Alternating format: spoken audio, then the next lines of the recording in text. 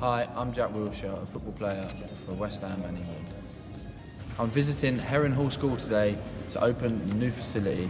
A new AstroTurf has been built for the kids. I've just seen it, it's a fantastic facility and I'm sure the kids in the future and now will use it very well. To help any student or any person be successful in life, well, in my life, first of all was hard work. Anything you do, you have to give it your all and also dedication. There's a lot of things in this world that can distract us and, and take you off the right road. So it's important you stay focused, work hard, and ultimately aim for the, the one thing you really want.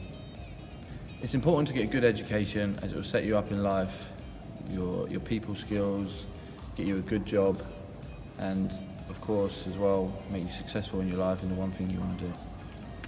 Playing for your country, well for me it was a dream come true. It's what I worked for.